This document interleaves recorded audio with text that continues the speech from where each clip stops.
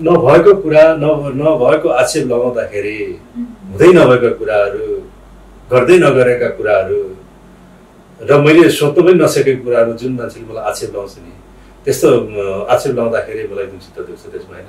जति आफूले क्लियर त्यसलाई क्लियर गर्न खोज्दा पनि क्लियर न क्लियर कुरा नबुझेर मलाई अझ आक्षेप लगाएको लगाइ गर्छु जसले मलाई डोमिनेट गरेर कुरा गरेको हुन्छ नि गल्ती नहुँदा पनि त्यस्तो कुरा एकोरे गरेर एकोरे पाराले मलाई आक्षेप लगाउँदाखेरि एकदम पछि झन् त्यसलाई एकदम लामो समयसम्म मैले चित्त दुखाएर त्यो त्यो कुरालाई खेलाएर बस्दाखेरि एउटा मेन्टली डिस्टर्ब पनि हुँदो रहेछ। मेन्टली डिस्टर्ब भयो भने लाइफको हरेक धेरै पार्टमा चाहिँ असर पार्दो रहेछ। मेन्टली डिस्टर्ब पनि भोलि डिप्रेसन पनि हुनसक्छ डिप्रेसन भइसकेपछि अनावश्यक कुराहरू सोच्नमा आउँछ।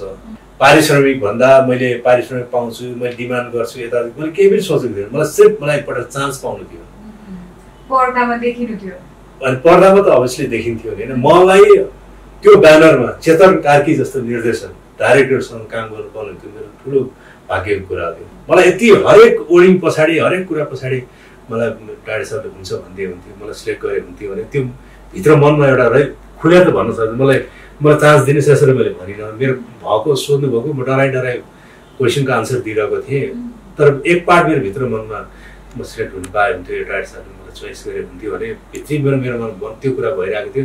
मैले कस्तो खुसी भएँ मैले केही सबै कुराहरू बिर्सिदिएँ कि मैले।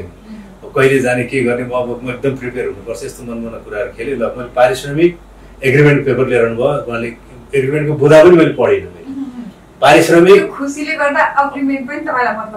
एग्रिमेन्ट पनि मलाई मतलब भयो। त्यो बुधा केही पनि मैले पढेन। उहाँले नै भन्नु पारिश्रमिक मैले धेरै डिमान्ड गरेर पाउँदैन। के अरे मैले नास्ता खाने हो कि चिया खाने पैसा मात्रै दिन्छु यताउति भन्नु। मलाई त्यो हुन्छ हजुर भने हस् हस् हुन्छ यताउति भने।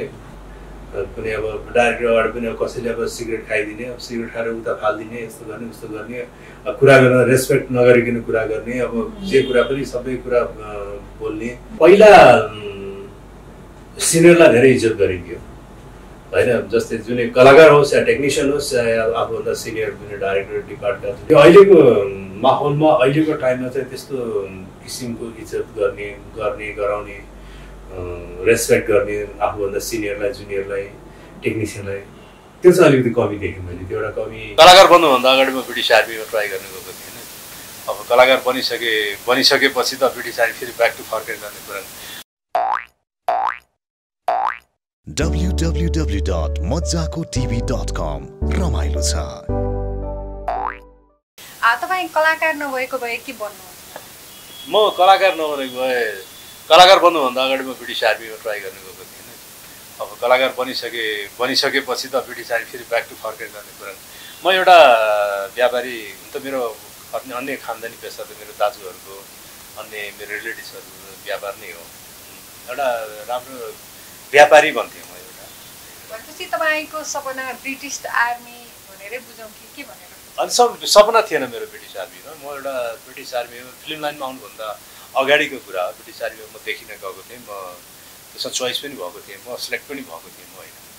त्यसपछि त्यो क्रम त्यो दिन बित्दै जाँदाखेरि मलाई अब मलाई म्याच गरेन त्यो लाइफ भनौँ न मलाई म्याच नगरिसकेपछि धेरै कुरामा मैले केयरलेस गरेपछि त्यो ठाउँबाट म निक्लेर आएँ। त्यसपछि म फिल्म लाइनमा आएँ त्यसपछि। यदि फिल्म लाइनमा नआएको भए म एउटा मेरै पुर्खोली व्यापारहरू मेरो बिजनेसमा लाग्थेँ कलाकार बनेकोमा कतिको खुसी हुनुहुन्छ तपाईँ? खुसी छु खुसी छु। किनभने कलाकार व्यापारी बन्नुभन्दा त कलाकार बन्नु मलाई राम्रो त त्यति बेला राम्रो नराम्रो थाहा थिएन अहिले थाहा भयो मलाई। अझ म कलाकार बनेको म धेरै राम्रो गरेछु जस्तो लाग्यो। सायद ब्रिटिस आर्मीमा भए पनि म यति खुसी हुँदैन थिएँ। अहिले नाम इज्जत सबै खुसी छु। तपाईँले कसरी चान्स पाउनु थियो कलाकारिताको लागि? एउटा लकको कुरा पनि हुन्छ यो होइन? अनि म जब म त्यो ब्रिटिस आर्मीको देखेर आइसके छोडेर आइसकेपछि म फिजिकमा एकदमै कन्सियस हुने मान्छे म एकदम फिजिकमा फिजिकमा एकदम ध्यान दिने मान्छे। म एक्सर्साइज गरेर बसिरहेको थिएँ एक्सर्साइज प्रत्येक हरेक दिन मैले एक्सर्साइज गर्थेँ मेरो जिउको बनावट एकदम राम्रो स्पोर्ट्समा पनि एकदम धेरै क्रेजी छु म। जिउको बनावट एकदम राम्रो भयो। बनावट बन्दै गएको थियो त्यति बेला। धेरै वर्ष अगाडिको कुरा। त्यसपछि मेरो स्थानीय मेरो गाउँ तानसेन पाल्पा। पाल्पाको स्थानीय साथीहरूले एउटा फिल्म बनाउनु लागेको लगे लागेको रहेछ। एउटा त्यो फिल्मको नाम प्रतीक भन्ने थियो। प्रतीकमा एउटा पुलिस इन्सपेक्टरको रोल थियो त्यो। रोलको ल धेरैलाई फिट हुन्छ। उसले जिम सिम पनि गराएको गरेपछि त्यो साइडबाट एउटा त्यो रोलको मैले चान्स पाएँ। मैले त्यो फिल्मको त्यो भिडियो फिल्म थियो। त्यसमा सुट पनि गरेँ मैले। सुट गरिसकेपछि त्यो फिल्म मेरो सकियो पनि। अनि सकिएपछि मैले पहिलो प्रेम यो काठमाडौँमा पहिलो प्रेम यो जुन डाइरेक्टर चेतन कार्कीद्वारा निर्देशित चलचित्र प्रेम पहिलो प्रेम बन्न लागिरहेको मैले सुन्नमा आएँ मैले सुनेपछि मैले चान्स पाएको चाहिँ भनेको मैले बसन्त डान्स राइडर बसन्तजङ रायमाथि एउटा मेरो मसँग मसँग मलाई त्यो बसन्तजङ रायमाझीको ठाउँमा पुऱ्याउन चाहिँ मेरो नारायणघाट प्रगतिनगर बस्नुहुन्छ रविन्द्र श्रेष्ठ दाई हुनुहुन्छ। रविन्द्र श्रेष्ठले मलाई हातमा समातेर उहाँको घर लानुभयो उहाँले कुरा चलाइदिनु भयो उहाँले मलाई देखाइदिनु भयो इन्ट्रोडक्सन गराइदिनु भयो। बसन्ताले हेरिसकेपछि सबै कुरा हेरिसकेपछि कुराकानी गरेपछि अनि मलाई बसन्ताले नै चेतन कार्की डाक्टर साहबलाई फोन गरिदिनु नयाँ केटाको एउटा खोजी थियो त्यो त्यो ठाउँमा म गयो। भने बसन्ताले कुरा गरिसकेपछि जस्तो घन्टा जति कुरा गरेर राखेको कुराकानी गर्नुभयो कुराकानी गरिसकेपछि अनि उहाँले मलाई फाइनल गर्नुभयो। पहिलो प्रेममा पहिलो प्रेम यस्तो चाहिँ बन्न लाग्यो भनेपछि एक हप्तापछि सुटिङ जानु छ पोखरा जाने रहेछ। त्यो पहिलो भेटमै उहाँले सिलेक्ट गर्नुभयो मलाई ओके गर्नुभयो एक हप्तापछि अनि पोखरा हामी सुटमा गएँ। जस मलाई इन्ट्री गराउने चाहिँ मलाई प्रगति नगर बस्ने नारायणघाट नारायणघाट प्रगति नगर चाहिँ रविन्द्र श्रेष्ठको ठुलो हात छ मलाई मुभीको पहिलो त्यो सट याद गरौँ न क्यामेरा फेसिङ कस्तो चाहिँ कतिको सम्झना आउँछ तपाईँलाई? याद आउँछ त्यो पहिलो प्रेम गर्नुभन्दा अगाडि मैले प्रतीक भन्ने भिडियो फिल्म मैले क्यामेरा फेस गरिसकेको थिएँ त्यो कारणले गर्दाखेरि त्यति मलाई अप्ठ्यारो फिल त भएन। त्यसपछि मैले पहिलो प्रेममा यो क्यामेरा फेस फेरि दोस्रो पटक मैले गर्दाखेरि त्यति अप्ठ्यारो लागेन मलाई। किनभने त्यति बेला अगाडि भिडियो फिल्म गरेको क्यामेरा फेस गरेर मलाई अलिकति इजी भइसकेको थियो कि त्यही भएर अनि त्यो ग्यापमा म यहाँ काठमाडौँ ट्रेनिङमा पनि बसेँ। मैले डा जस्तै मैले डान्समा ट्रेनिङ गरेँ फाइटमा ट्रेनिङ गरेँ मैले एक्टिङमा ट्रेनिङ गरिसकेको थिएँ मैले। क्यामेरा फेस दोस्रो यो पहिलो प्रेममा क्यामेरा फेस गर्दाखेरि मलाई त्यति खास अप्ठ्यारो लागेन र सबै एकदम मिल्ने कलाकारहरू थिए। मेरो अपोनेन्टमा हिरोइन मेरो करिश्मा भनन्दन थियो सन्तोष पन्त दाई थियो शिव के अरे दिपक ढकाल क्यामराम्यान दाई थियो होइन? उनीहरूले एकदमै नयाँ कलाकार भएको चाहिँ एकदम डोमिनेट नगर्ने कि एकदम मिलनसार होइन तिमीलाई गाह्रो साह्रो केही छैन भन होइन? यदि कुनै अप्ठ्यारो लागिरहेछ कुनै तिमीलाई डर लागिरहेछ अप्ठ्यारो छ त्यस्तो कुरा सोध्नुहुन्थ्यो कि। अनि मलाई यहाँनिर अप्ठ्यारो लगाएर चाहिँ यहाँ यसो गरेर सोध्नुहुन्छ उहाँले सजेसन दिनुहुन्थ्यो कि। यसो एकछिन रेस्ट गर। यस्तो मुभमेन्ट यसरी गर यसो गर। त्यसलाई यो गाह्रो रहेछ भने उहाँले सर्ट चेन्ज गरिदिनुहुन्थ्यो। अनि त्यस्तो कम्फोर्टेबल गराइदिनु भएको थियो कि मलाई। त्यो पहिलो फिल्म पहिलो प्रेम पहिलो प्रेम पहिलो फिल्म हो मेरो। त्यो फिल्ममा पनि त्यस्तो कम्फोर्टेबल मलाई गराइदिनु भएको थियो। एसिस्टेन्ट डाइरेक्टर विजय चालिसे थियो। अनि एसिस्टेन्ट डाइरेक्टरले पनि धेरै सपोर्ट गर्नुभयो त्यति बेला। त्यस्तो कम्फर्ट भएको गरिदिएको हुनाले चाहिँ मलाई त्यति अप्ठ्यारो चाहिँ लागेन पहिलो त्यो समयमा जुनियर र सिनियर कलाकारको त्यो केमिस्ट्री र अहिलेको समयको जुनियर र सिनियर कलाकार बिचको केमिस्ट्रीको डिफ्रेन्स चाहिँ के भन्नु भएको छ भिन्नता चाहिँ? अन्त डिफ्रेन्ट छ त्यो पहिला सिनियरलाई धेरै इज्जत गरिन्थ्यो। होइन जस्तै जुनै कलाकार होस् या टेक्निसियन होस् या आफूभन्दा सिनियर जुनै डाइरेक्टर डिपार्टमेन्ट जुनै पनि व्यक्तिहरू होस्। होइन अब डाइरेक्टरलाई हामीले डाइरेक्टरसँग हामी धेरै खुलेर कुरा पनि गर्न सक्दैनौँ. त्यति इज्जत गर्ने हामीले अनि आफ्नो ब्याजका साथीहरू कलाकार साथीहरूसँग हामी खुलेर कुरा गर्थ्यौँ आफू सिनियरलाई हामी सिनियरमै राख्थ्यौँ जुनियरलाई पनि हामीले एकदम इज्जत गर्थ्यौँ। टेक्निसियनलाई पनि एकदम इज्जत गर्थ्यो गरिन्थ्यो त्यति बेला होइन। अब अहिले त यो डिजिटल फर्मेट आइसकेपछि त्यस्तो किसिमको माहौल मैले देखिनँ होइन। मैले पहिलाको माहौलमा पनि मैले काम गरेँ जुन एनालोग नेगेटिभ सिस्टमका थियो। र अहिले डिजिटल फर्मेटमा आएर पनि यो नयाँ कलाकारहरूसँग नयाँ डाइरेक्टरहरूसँग नयाँ प्रड्युसरसँग नयाँ हिरो हिरोइनसँग सबैसँग काम गरेँ। तर डिफ्रेन्ट छ। पहिला जस्तो जति हामीले त्यस्तो कुराहरू देखेका सुनेका स्वयं आफूले पनि इज्जत गरिन्थ्यो आफ्नो सिनियर जुनियरलाई त्यो अहिलेको माहौलमा अहिलेको टाइममा चाहिँ त्यस्तो किसिमको इज्जत गर्ने गर्ने गराउने रेस्पेक्ट गर्ने आफूभन्दा सिनियरलाई जुनियरलाई टेक्निसियनलाई। त्यो चाहिँ अलिकति कमी देखेँ मैले। त्यो एउटा कमी देखेको हुनाले कता कता चित्त बुझ्दैन होइन? अब भोगिरहेको छु। भोगेँ मैले। मैले त्यही त अहिले पनि मैले भनेँ। अब मैले आफै भोगेको कुरा। मैले आफै भोगेँ मैले आफै मैले पनि कतिपय म सुरु सुरुमा कतिपय डाइरेक्टरहरूलाई म धेरै इज्जत गर्थेँ। डाइरेक्टरसँग हामी धेरै बोल्न पनि पाउँदैन थिएँ उहाँहरूको आफ्नै स्थान हुन्थ्यो। अनि अब अहिले त एउटै लेभल जस्तो भइरहेको छ। डाइरेक्टरहरूको अब कुनै अब डाइरेक्टर अगाडि पनि अब कसैले अब सिगरेट खाइदिने अब सिगरेट खाएर उता फालिदिने यस्तो गर्ने उस्तो गर्ने कुरा गर्न रेस्पेक्ट नगरिकन कुरा गर्ने अब जे कुरा पनि सबै कुरा बोल्ने। होइन अब सबैको आफ्नो स्थान हुन्छ नि त्यो त्यो एउटा स्थान राखेर कुराकानी गर्ने खाने ठाउँमा खाने बोल्ने ठाउँमा बोल्ने त्यस्तो गरेर एउटा रेस्पेक्टको बाटो देखिन्थ्यो कि अहिलेको माहौलमा मैले त्यस्तो देख्दिनँ। कलाकार बनिसकेपछि के कुरा तपाईँलाई बढी मिस हुन्छ? कलाकार बनिसकेपछि त अब धेरै कुराहरूको सेक्रिफाइस गर्नुपर्छ होइन? अब हुन त सबै कलाकार एउटै हुँदैन सबै मान्छे एउटै हुँदैन। लाइक पाँचवटा आउँदा बराबर कहिले पनि हुँदैन होइन? र धेरै कुराहरू मिस गर्छु मैले। कलाकार भइसकेपछि अब सार्वजनिक ठाउँमा गएर अब मैले अब एउटा भनिन्छ नि कलाकार एउटा राष्ट्रको गहना भनेर भनिन्छ नि होइन। अब आफ्नै छुट्टै किसिमको पहिचान बनाइसक्यो छुट्टै किसिमको स्थान बनाइसकेपछि अनि अब त्यो पब्लिक फिगर भइसकेपछि भिडभाडमा गएर अब पब्लिक प्लेसमा गएर अब म यदि सा म पब्लिक फिगर भइसक्यो भने त्यो भिडभाडमा गयो भने आफ्नो इज्जतै रहँदैन होइन। अब उनीहरूसँग अब हुलमिल भइदिनु पऱ्यो उनीहरूले भनेको कुरा मानिदिनु पऱ्यो उनीहरूले भनेको कुरा चिया खानु भने चिया खाइदिनु पऱ्यो कफी खानु पऱ्यो अब त्यो त्यो साध्य पनि हुँदैन कि एउटा कलाकार यति इस्टाब्लिस भइसकेपछि त्यो साध्य मैले पनि अनुभव गरेँ। त्यो साध्य पनि हुँदैन त्यो भिडभाडमा गएर उनीहरूसँग अटोग्राफ लिँदै फोटो खिच्दै टिकटक बनाउँदै चिया खाँदै कफी खाँदै त्यो समय पनि हुँदैन त्यो। यदि मेरो प्रोफेसनली अब एकदम इस्टाब्लिस भइसकेपछि त्यो स्वभाव पनि दिँदैन त्यस्तो कुराहरूको ध्यान दिनुपर्छ त्यस्तो कुराहरूको धेरै कुराहरूको सेक्रिफाइस पनि गर्नुपर्छ। त्यस्तो कुरामा जानु नमिल्नेहरू कतिपय जानु मिल्ने ठाउँ नमिल्ने ठाउँहरू पनि हुन्छ। होइन त्यस्तो कुराहरू चाहिँ यहाँ मात्रै होइन हलिउड बलिउडमा पनि त्यस्तै होइन पब्लिक बलिउडको कलाकारहरू पनि पब्लिक त्यसरी जाँदैन। हो जानुपर्छ तर समय सिचुएसन मिलाएर अब सुटिङकै टाइमिङ छ भने अथवा त्यस्तै सभा सम्मेलन त्यस्तै कार्यक्रम छ भने जाने त्यो अलग्गै कुरा छ। त्यस्तो समय सिचुएसन हेरेर जानुपर्छ र त्यो अचथा भए त्यो जानु चाहिँ यदि पब्लिक फिगर भइसक्यो जानु चाहिँ त्यति राम्रो जस्तो तपाईँको पहिलो जागिर के थियो र तलब कति थियो? जागिर हुन्छ जागिर त खाइएन होइन जागिर अब जागिर नखाए चाहिँ तलबै हुँदैन जागिर त खाइएन जागिर खाने खाने बेलामा त फेरि गएर पनि निक्लेर आइयो। त्यसपछि त्यतिकै समय बित्दै गएको थियो ट्रेनिङहरूमा। अब अझै फिल्म लाइन आउनको लागि ट्रेनिङहरू यताउतिमा बितिरहेको थियो। त्यसपछि पहिलो पहिलो भिडियो फिल्ममा त पैसै पाइएन होइन। तलबै पाइएन। पारिश्रमिक पाइएन। त्यो त साथीहरूले बनाएको फिल्म थियो। होइन अब त्यो बनाएको हुनाले पैसा डिमान्ड गर्ने कुरा पनि भएन। उनीहरूले दिन्छु पनि भनेन मैले लिए पनि भनेन होइन। त्यो अलग कुरा भयो पहिलो प्रेममा चाहिँ थोरै मलाई पकेट खर्च चाहिँ दिएको होइन त्यसलाई चाहिँ अलिक गोप्य होला होइन। किनभने त्यति बेला मैले डिमान्ड गरेको थिइनँ।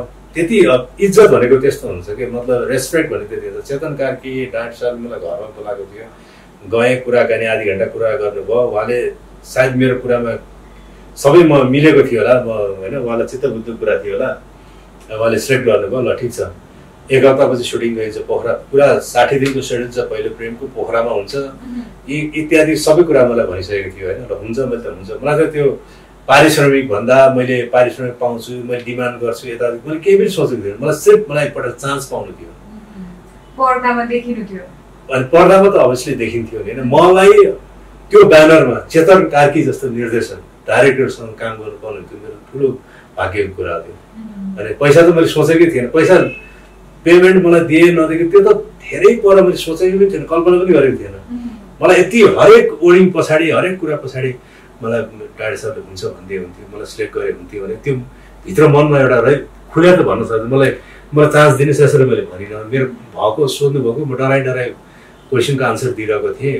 तर एक पार्ट मेरो भित्र मनमा म सिलेक्ट हुनु पाएँ हुन्थ्यो डाइरेक्टर सरले मलाई चोइस गरे हुन्थ्यो भने भित्री मेरो मेरो मनमा त्यो कुरा भइरहेको थियो। एक घन्टा डेढ घन्टा भइसकेपछि उहाँले मलाई सिलेक्ट गर्नुभयो। सिलेक्ट गरेपछि मैले कस्तो खुसी भएँ मैले केही सबै कुराहरू बिर्सिदिएँ कि मैले। कहिले जाने के गर्ने म अब म एकदम प्रिपेयर हुनुपर्छ यस्तो मनमना कुराहरू खेलेँ। ल मैले पारिश्रमिक एग्रिमेन्ट पेपर लिएर आउनुभयो। उहाँले एग्रिमेन्टको बुधा पनि मैले पढिनँ मैले। पारिश्रमिक एग्रिमेन्ट पनि मलाई मतलब भयो। त्यो बुधा केही पनि मैले पढेन। उहाँले नै भन्नु पारिश्रमिक मैले धेरै डिमान्ड गर्न पाउँदैन। के अरे मैले नास्ता खाने हो कि चिया खाने पैसा मात्रै दिन्छु यताउति भन्नु। मलाई त्यो हुन्छ हजुर मैले हस् हस् हुन्छ यताउति भने एग्रिमेन्टमा लेखिदियो कति लेखिदियो। त्यो मलाई इनब्लकमा पैसा एग्रिमेन्ट यो साइनिङ अमाउन्ट दिएको थियो। पनि केही पनि हेरेन। एग्रिमेन्ट उहाँले दिनुभयो। हेरेर मैले यस्तो फोल्ड गरेँ। इनब्लकमा पैसा थियो गएको थियो। त्यो पनि मैले के पनि हेरेर हेरेँ। यस्तै साइडबाट आइ बसेँ अनि ल अहिले तिमी जान सक्छौ तिमीलाई प्रडक्सन म्यानेजरले कन्ट्याक्ट गर्न सक्छ। गर्छ यताउति मेरो कन्ट्याक्ट नम्बर दिएँ। त्यहाँबाट निस्केँ। म त्यो हेर्दै हेरेर म त्यो खुसीले गर्दाखेरि मैले हेर्न सकिनँ।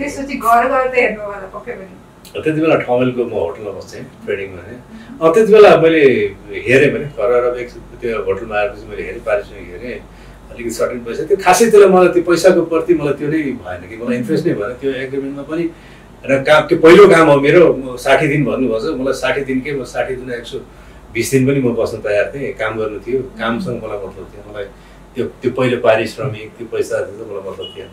त्यो त्यो फोल्डिङ गरेर मेरो ब्यागमा राख्थेँ त्यो मैले एग्रिमेन्ट कहिले पनि हेरेन मैले त्यो। जीवनको कुनै यस्तो दिन जसलाई तपाईँ फेरि पनि जिउन चाहनुहुन्छ त्यस्तो? जीवन त अब एउटा कस्तो निरन्तर रूपमा समय अनुसारले बदलिँदै जाने फेरिँदै जाने हो होइन। यसरी जिउँछु उसरी जिउँछु भन्ने कुरा त अब यो अहिले अहिले यो समयमा आएर त भन्न सक्दिनँ होइन। जे छ म जति ज पनि अहिलेसम्म जीवन जिएर म आइरहेको छु त्यसमा म खुसी छु होइन। मलाई अब म यसरी यो तरिकाले जिउँछु भन्ने कुरा मैले अब म म ब्याक टु फेरि त्यो फ्ल्यासब्याकमा त जानै जान सक्दिनँ मनोरञ्जन क्षेत्रको कुन कुरा तपाईँलाई सबैभन्दा बढी मनपर्छ? मनोरञ्जन क्षेत्र मैले अघि पनि अघि पनि मैले भन्नेवालामा थिएँ। मलाई एकदम यो कमेडी हाँस्नुको यो हाँस्ने पाटो हुन्छ नि। त्यो त्यो पार्टमा चाहिँ मलाई एकदमै एकदम इन्जोय गर्छु म त्यो त्यो हाँस्य पात्रहरू भन् हाँस्य सिरियलहरू हाँस्य कथावस्तुहरू हँसाउने सिनहरू हँसाउने रोलहरू इत्यादि कुरामा म धेरै इन्जोय गर्छु म एकदम खुसी हुन्छु त्यस्तो र के कुराले तपाईँलाई बढी चित्त दुख्छ? अनि कसैले नभएको कुरा न नभएको आक्षेप लगाउँदाखेरि हुँदै नभएका कुराहरू गर्दै नगरेका कुराहरू र मैले सोध्नु पनि नसकेको कुराहरू जुन मान्छेले मलाई आक्षेप लगाउँछ नि त्यस्तो आक्षेप लगाउँदाखेरि मलाई एकदम चित्त दुख्छ त्यसमा होइन? जति आफूले क्लियर त्यसलाई क्लियर गर्न खोज्दा पनि क्लियर क्लियर कुरा नबुझेर मलाई अझ आक्षेप लगाएको लगाइ गर्छु जसले मलाई डोमिनेट गरेर कुरा गरेको हुन्छ नि। गल्ती नहुँदा पनि त्यस्तो कुरा एकोरे गर एकोरे पाराले मलाई आक्षेप छैन? घटेछ घटेछ। त्यो त अब यत्रो यति यति वर्षको लाइफमा कुरा नघट्ने त कुरै भयो नि। तर त्यस्तो भए पनि मैले क्षणिक मात्रै मैले एकछिन चित्त दुखाउँछु होइन। पछि झन् त्यसलाई एकदम लामो समयसम्म मैले चित्त दुखाएर त्यो त्यो कुरालाई खेलाएर बस्दाखेरि एउटा मेन्टली डिस्टर्ब पनि हुँदो रहेछ। मेन्टली डिस्टर्ब भयो भने लाइफको हरेक धेरै पार्टमा चाहिँ असर पार्दो रहेछ। मेन्टली डिस्टर्ब पनि भोलि डिप्रेसन पनि हुनसक्छ। डिप्रेसन भइसकेपछि अनावश्यक कुराहरू सोच्नमा आउँछ। अनावश्यक कुरा सोचिसकेपछि जे पनि गर्दो रहेछ गर्न अगाडि बढिँदो रहेछ कि? मैले कतिपय साथीहरू पनि देखेँ होइन। ती कारणले गर्दाखेरि त्यस्तो कुरालाई म अगाडि नै कन्ट्रोल गरेर त्यसलाई म सिकाउन चाहन्छु। तपाईँलाई केटीहरूले प्रेम प्रस्ताव राख्दा चाहिँ कस्तो लाग्छ? होइन अब अहिले त खास छैन। पहिला त्यस्तो नराखेको पनि होइन प्रेम प्रस्ताव राखेको पनि हो होइन। अब हो एउटा उमेर हुन्छ त्यस्तो प्रेम प्रस्ताव राख्ने प्रेम प्रस्ताव राखेर हिँड्ने डुल्ने। होइन अब त्यो उमेर हुन्छ तर मेरो त फिल्म लाइन आउँदा आउँदै नै मेरो त बिहा भइसकेको थियो। होइन त्यो कारणले गर्दाखेरि त्यस्तो प्रेम प्रस्ताव आउँदाखेरि मैले सम्झाउने बुझाउने गर्दैन अँ, म त स्टिल अलरेडी म म्यारिड भइसकेको छु होइन। उहाँहरूको साइडेड त्यस्तो कुरा आउँदाखेरि मैले राम्रोसँग सम्झाउँथेँ बुझाउँथेँ होइन। अब त्यो समय आउँछ म मान्दछु। त्यो समयमा चाहिँ उहाँहरू बोल्नुहुन्छ प्रस्ताव राख्नुहुन्छ होइन। त्यो समयलाई ख्याल गर्नुहोस् कन्ट्रोल गर्नुहोस् पछाडि फर्केर हेर्नुहोस् विचार गर्नुहोस्। जिन्दगी एकदम सुन्दर छ जिन्दगी एकदम लामो छ। यस्तो के कुराहरूलाई ध्यान दिनुहोस्। भने यसरी म सम्झाउँथेँ बुझाउँथेँ। कतिपयले बुझ्थ्यो धेरैले बुझ्थ्यो कतिपय नबुझ्नेलाई अझै गहिराइमा गएर बुझाउने कोसिस गर्थेँ। तर त्यस्तो गलत बाटोको बाटो देख्नु गर्दैन। तपाईँले म्यारिड भइसकेपछि अब यस्तो प्रेम प्रस्तावका कुराहरू आइरहेको थियो होइन महिलाबाट आफ्नो पत्नीले आफ्नो वाइफलाई चाहिँ कतिको सेयर गर्नुहुन्थ्यो कुरा? यस्तो कतिपय मिल्नु सेयर गर्न मिल्ने खालको कुराहरू मैले सेयर गर्ने गर- गर्थेँ मैले। होइन कतिपय कुराहरू अब लेडिज न त हो सेयर गऱ्यो भने अर्थको अनर्थ हुन जान्थ्यो कि। होइन अनि त्यो एक दुईपल्ट त्यस्तो भएको हुनाले मैले सेयर गरिनँ मैले। तपाईँले सेयर गरिसकेपछि पनि रिजल्ट देखेर चाहिँ तपाईँले सेयर नगर्नु अब त्यो हो त्यो हो। किनभने एउटा लेडिज लेडिजको कुराहरू त त्यो पिन्च हुन्छ हुन्छ नै होइन। अब कतिपय कुराहरू चाहिँ सबै किसिमको एउटै किसिमको कसैले प्रेम प्रस- प्रस्ताव राख्यो भने एउटै किसिमको प्रस्ताव हुँदैन त्यो विभिन्न किसिमको हुन्थ्यो होइन विभिन्न किसिमको त्यो भराइटिज कुराहरू मैले मेरो घरको मान्छेलाई मैले सेयर गरेँ भन्दाखेरि त डाइजेस्ट गर्न कतिपय डाइजेस्ट गर्न नसक्ने कुराहरू पनि हुन्थ्यो कि।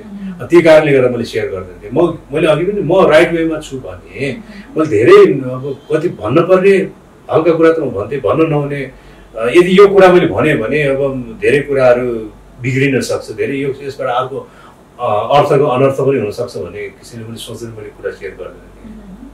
अनि गरिन पनि गर्दैन थिएँ पनि र अहिले अहिले त खासै त्यस्तो तपाईँको पहिलो प्रेम प्रस्ताव कसलाई थियो? पहिलो प्रेम प्रस्ताव भने मेरो स्कुल लाइफमा थियो क्यारे अब त्यो त्यो उमेर नै त्यस्तै थियो एउटा चञ्चलै त्यो त्यस्तो खासै लामो त्यस्तो थिएन त्यो एउटा हावा कुरा जस्तै कि त्यो एउटा हावाले एउटा हावाको एउटा झोका झोका आउँछ नि त्यस्तो कि त्यो एकपल्ट हावाको झोका आएको थियो एकछिन भुमरी जस्तो घुम्यो स्वाटे गयो सिद्धि कि त्यस्तो टाइपको। छ सात छ सात क्लास थियो। त्यति बेला। त्यस्तो एउटा त्यो त्यो बचपना आर्ट हुँदो रहेछ। त्यो बचपना आर्टमा त्यो एउटा सबैको लाइफमा सायद आउँछ होला त्यो। मेरो अनुभवमा है। अनि त्यो चाहिँ एकैछिन आउँछ एकैछिनमा हराइ जान्छ अनि अब अहिले सम्झिँदाखेरि त ओहो त्यो त्यो फ्ल्यासब्याक त यस्तो नि हुँदो रहेछ। हुन्छ रहेछ भन्ने कुरा सोच्छु लाग्छ कि अहिले अहिले अहिलेको यो समयमा। तपाईँले चाहेको तर गर्न नसकेको कुनै अधुरो काम के छ? चाहेर पनि मैले गर्न नसकेको काम मेरो फ्यामिलीमा भन्दाखेरि अब मैले त्यही हो मैले चाहेर बच्चाहरू मेरो मेरो आफ्नो छोरी दुइटा छ मेरो छोरीहरू। अब उनीहरूको उनीहरूको सोचाइ उनीहरूले चाहेको कुराहरूलाई कोसिस गर्दैछु चाहेको कुरालाई पुरा गर्दिनँ। तर हुन अहिलेसम्म मैले मेरो साइडबाट कुनै कमी कमजोरी कमी नहोस् भनेर मैले उनीहरूको इच्छाहरू पुरा गरिदिएको छु। मैले सबभन्दा ठुलो प्रायोरिटी म पढाइमा दिन्छु। मेरो छोरी ठुलो छोरी सानो छोरीलाई पनि राम्रै पढाइरहेको छु। ठुलो छोरीलाई पनि राम्रै पढाइरहेको छु होइन? त्यसैमा चाहिँ कमी कमजोरी नहोस् भनेर मैले लागिरहेको छु। होइन यो भगवान्सँगै प्रे गर्छु कि उनीहरूको मनमा नलागोस् कि मेरो बाबाले मलाई यो चिजको कमी गरिदियो। अनि यो चिजको मलाई कमी गरिदिइरहेको छ। यो इच्छा मेरो पुरा गर्दैन भने यस्तो भगवान् कृपा उसको मनमा नलागोस् होइन? तर मैले सक्दो मैले चाहेको जति उनको इच्छाहरू पुऱ्याएको छु म सब त्यसमध्येमा सबभन्दा फर्स्ट प्रायोरिटी म शिक्षा नै दिन्छु होइन? दुइटा बच्चालाई म राम्रो पढाइरहेको छु। र उनीहरूले चाहेसम्मको मैले पढाउँछु भनेर मैले अगाडि हिँडिरहेको छु। तपाईँको गोप्य कुरा जो दर्शकलाई थाहा छैन सेयर गर्नुहुन्छ। गोप्य कुरा त कसरी सेयर गर्ने छैन। सायद त्यस्तो गोप्य कुरा प्रश्नले अब गोप्य कुरा त के त फिल्मी लाइनको गोप्य कुरा त त्यस्तो खासै छैन। पहिला पहिला थियो होला जो बिर्सिसक्यो घरैसी गोप्य कुरा के हुन्छ के छैन। के कुराले तपाईँलाई बढी खुसी बनाउँछ? मैले अब म त्यही हो मैले अहिले पनि मैले बारम्बार भन्छु। मेरो दुइटा बच्चा मेरो कारणले दुखी नहोस् होइन उनीहरू खुसी भयो भने म एकदमै खुसी हुन्छु होइन? उनीहरूलाई हमेसा मैले खुसी बनाउन चाहन्छु खुसी राख्न चाहन्छु खुसी राखिरहेको छु। भने मेरो सबभन्दा मेरो मुटु नै मेरो अब दुइटा बच्चा होइन? यसलाई खुसी हमेसा खुसी राखिरहेको छु खुसी मैले राख्न कोसिस गरिरहेको छु। खुसी छ उनीहरू होइन? यदि उनीहरू दुःखी भयो भने मेरो एकदम म मन एकदम स्याड हुन्छु एकदम दुःखी हुन्छु होइन? त्यो कारण कारणले गर्दाखेरि हमेसा दुइटा बच्चा खुसी रह्यो भने म एकदम खुसी रहन्छु तपाईँको कमजोरी के हो जस्तो लाग्छ? मेरो कमजोरी के भने मैले मेरो साथीहरूलाई म अलि कुरा गर्दाखेरि म अलिकति छिटो विश्वास गर्छु कि मैले। एकदम छिटो विश्वास गर्नु नै मेरो मैले एक दुईपटक मैले दुई चारपटक मैले त्यस्तो ठाउँमा मैले धोका पनि खाइसकेको छु होइन। मैले मान्छेलाई अलिक छिटो विश्वास गर्नु मैले मान्छेलाई नकि कुराहरू नकेलाइकन नबुझिकन छिटो डिसिजन गर्नाले पनि मैले धोका पाएर चाहिँ त्यो कारणले गर्दा त्यो मेरो कमजोरी हो। तपाईँलाई आफूलाई मन नपर्ने आफ्नै बानी के छ? मलाई दुई तिनवटा बानी छ त्यो मेरो होइन? म म फिजिकली मान्छेले भन्छ नि मान्छे झनको रिसाउँछ। यो मान्छेलाई प्रेसर छ जस्तो छ होइन? त्यो कारणले यो छिटो चाँडो रिसाउँछ भन्छ त्यो मेरो एउटा कमजोरी छ कि म छिटो अलिकति अलिकति छिटो रिसाउने बानी क्या मेरो। होइन? छिटो रिसाउने भन्नाले अब रिसाउने रिसाए रिसाएको पनि दुई चारवटा भेराइटिज हुन्छ त्यहाँ कोही रिसाले डाङडुङ कुट्ने मान्छे कुट्ने कोही अब ड्रिङ्क्स गर्ने यस्तो हुन्छ एकदम रिसायो भने कस्तो सिरियस टाइपको अलिकति छिटो रिसाउने टाइपको छु। त्यो एउटा मेरो कमजोरी बानी हो। किनभने मैले प्रेसर भएको मान्छे त्यस्तो गर्छ। प्रेसर मेरो नर्मलै छ फेरि।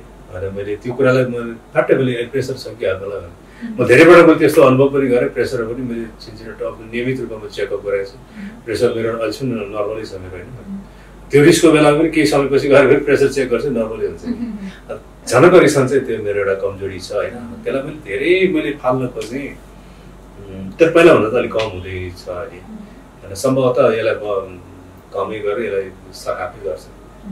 र अब चाहिँ हामी अन्त्यतिर छौँ। तपाईँलाई कस्तो लाग्यो प्रश्न उत्तर सेगमेन्ट कतिको रमाइलो इन्जोय गर्नुभएको अनि एकदम खुसी लाग्यो। किनभने यस्तो किसिमको कुरा यो रमाइलो कुरा गर्दाखेरि मैले अर्कै सोचेको थिएँ तर अहिले तपाईँले यो कुरा यसरी मलाई यो यो रमाइलो कुराहरू गर्ने सेगमेन्टहरू राख्नुभयो एकदम खुसी। यो नौलो टाइपको भयो भने मलाई। एकदम नौलो पनि लाग्यो राम्रो पनि लाग्यो खुसी पनि लाग्यो। किनभने म त हेर्ने दर्शकहरूले एकदम इन्जोय गर्छ कि। न्यु टेस्ट भयो। इन्जोय गर्छ कि। अब मेरो पुरानोदेखि बिचकोदेखि अहिलेसम्मको नयाँ पुरानो सबै कुराहरू मैले भन्न पाएँ खुलेर भन्न पाएँ। होइन दर्शकहरूले यो बुझ कि दर्शकहरूले कि पुरानो कुरा मात्रै थाहा पाउँथ्यो अनि नयाँ आएको फिल्मको कुराहरू मात्रै थाहा पाउँथ्यो। यो बिचको मेरो फ्यामिलीको बिचको कुराहरू मेरो फिल्मका कुराहरू पहिलाको जेनेरेसनको कुराहरू बिचको जेनेरेसनको कुराहरू नयाँ जेनेरेसनको कुराहरू धेरै भेराइटिज हुनाले पब्लिकले इन्जोय गर्छ। नयाँ किसिमको भएको हुनाले जस राम्रो लाग्यो। र अब चाहिँ हामी अन्त्यतिर छौँ। अन्त्यमा के भन्न चाहनुहुन्छ दर्शकलाई? अन्त्यमा दर्शकलाई म के भन्न चाहन्छु भने अहिले सबैको एउटै कुरा छ कोभिड नाइन्टिन। होइन यो कोभिड नाइन्टिनले गर्दाखेरि हाम्रो देश मात्रै नभइकन संसारभरि नै यो एकदमै प्रब्लम भइरहेको छ। त्यस कारणले गर्दाखेरि सबैको अब काम धन्दाहरू अस्त व्यस्त छ। अझै पनि केही स्योर भएको छैन। एकदम फुल हन्ड्रेड पर्सेन्ट निर्मूल भएको छैन। हन्ड्रेड पर्सेन्ट निर्मूल नहुँदासम्म न्युजमा देखिरहेको छु कोभिड झन् अहिले बढ्दै अलिकति बढ अहिले पहिला लकडाउन गर्दाखेरि कम भएको थियो। सङ्क्रमण अहिले अलिक बढिरहेको छ। त्यो कारणले गर्दा यस्तो कुराको यस्तो कुरा ध्यानमा राखेर केही समय अनि काम त गर्नु पऱ्यो काम त गर्नुपर्छ तर काम सबैको आफ्नो पेसा त हुन्छ नि। त्यो पेसा त गर्नै पऱ्यो जस्तो म फिल्म छु मेरो एक्टिङ त मैले गर्नै पऱ्यो। अन्य व्यवसायहरू पनि विभिन्न क्षेत्रको व्यवसाय पनि हुन्छ नि गर्नै परेन त्यो गर्नुहोस् गर्नुपर्छ। गरिरहेका छौँ। त्यो गर्दा पनि अलिक डिस्टेन्समा बसेर यो कोभिडको कारणले गर्दाखेरि अलिकति डिस्टेन्समा सुरक्षित रहेर जस्तै अब कोही मान्छेसँग भेट्दाखेरि अलिक डिस्टेन्समा नियमित रूपमा साबुन पानीले हात दिने मास्क नियमित मास्क लगाउने अनि त्यस्तो डिस्टेन्समा रहेर सुरक्षित रहेर काम अगाडि बढ्नुहोस् सुरक्षित रहनुहोस्। यो केही समय हो अहिले भ्याक्सिन अब लगाउँदैछ आउँदैछ लगाउँदैछौँ। सायद लगभग लगभग फर्स्ट डोज त सबै लगाइसकेको छ। सेकेन्ड डोज कम्प्लिट भइसकेपछि सायद कोभिड पनि निर्मूल हुन्छ होला सकिन्छ होला। त्यो समयलाई हामीले अब वेट गर्नुभन्दा अरू के गर्न सक्छ होइन? सुरक्षित रहौँ सुरक्षित रहन म अनुरोध पनि गर्छु। यही हो मैले भन्ने कुरा। व्यस्तताको बावजुद पनि तपाईँहरूले समय दिनुभयो। एकदम रमाइलो कन्भर्सेसन भयो। दाइसँग लङ टाइमपछि थ्याङ्क यू सो मच तपाईँलाई। थ्याङ्क यू धेरै धेरै धन्यवाद। आजको दिनमा यसरी अब प्रत्यक्ष रूपमा यसरी यो नयाँ किसिमको इन्टरभ्यू भनौँ नयाँ किसिमको कुराकानी गर्न पाएँ। एकदम खुसी लाग्यो खुसी छु। थ्याङ्क यू यस्तै मजाको भिडियोहरू हेर्नको लागि आजै सब्सक्राइब गर्नुहोस् मजाको टिभी। रमाइलो छ।